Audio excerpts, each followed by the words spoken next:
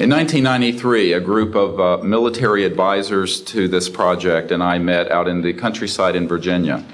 And we decided that it was time for civilians, military, intelligence, and other people to come together to disclose the truth about the subject which is called UFOs. Since that time, I have personally briefed a sitting director of Central Intelligence, James Woolsey, President Clinton's first CIA director.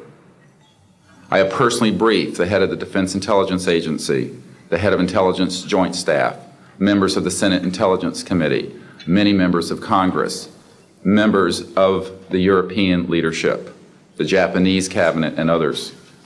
And what I have found is that none of them are surprised that this is true, but they are uniformly horrified that they have not had access to these projects.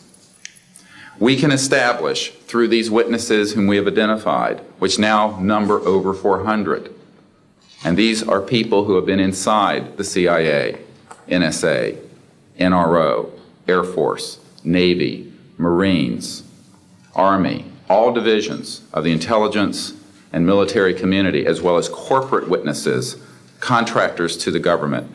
And these are folks who have been involved in so called black budget or covert unacknowledged projects.